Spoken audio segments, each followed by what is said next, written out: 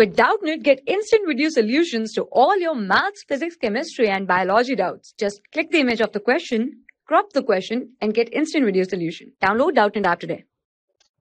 Hello everyone, this is a question, let me explain it to you. The first step in the manufacture of nitric acid is catalytic oxidation of ammonia. What is the name of the catalyst?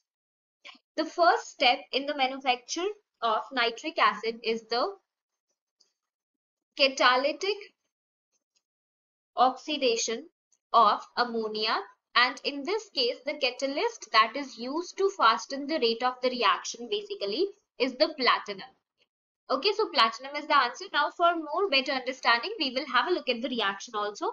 4 moles of ammonia reacting with 5 moles of oxygen in the presence of this catalyst, platinum, PT is the symbol, at a temperature of around 800 degrees Celsius leading to 4 moles of NO plus 6 moles of water and apart from this there is a liberation of some heat energy also. Okay, so answer is platinum. Thank you. For class 6 to 12, IIT JEE and NEET level.